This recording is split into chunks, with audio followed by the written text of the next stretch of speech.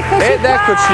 Emanuele. Oggi usciamo da un quadro meraviglioso di un pittore che si chiama Luca Dall'Olio che voglio ringraziare. voglio ringraziare perché ci ha dato la possibilità di arredare il nostro studio con questi eh, dipinti davvero bellissimi. Sì, davvero da oggi noi immagini, abbiamo Hai visto? No? Sì, sì, Belle, perché sono anche molto colorate, armoniose, no? Armoniose. Esatto.